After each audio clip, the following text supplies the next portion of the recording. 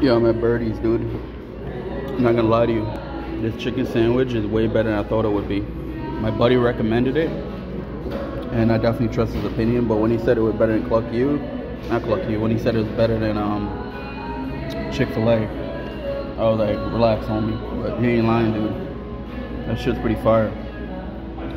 And if you like spice, I think that's one of the reasons it's, it's better because it's um, how do I say it? Like the spice on it, dude, is phenomenal. You know, like when you have like, if you really like spice and you have the Chick Fil A sandwich, it's spicy, but it's not like, oh my god type shit. This has the right amount of spice, and the breast, the meat, dude, is super phenomenal, and the fries are on point. Let's try out this birdie sauce. I think that's what it's called. You know, for four dollars, dude, they do give you a lot of fries. You ever go somewhere and you order fries and it's like five dollars and they give you like two fries?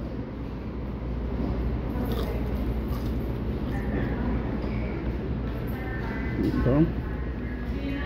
Pop on up.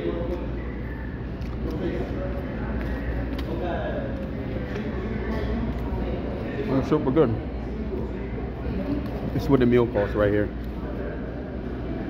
$15.99, 16 bucks. Honestly, it is pricey, but you're paying for quality, so what are you gonna do? You could go to Burger King or McDonald's and get like a shitty chicken sandwich, but it's a real deal.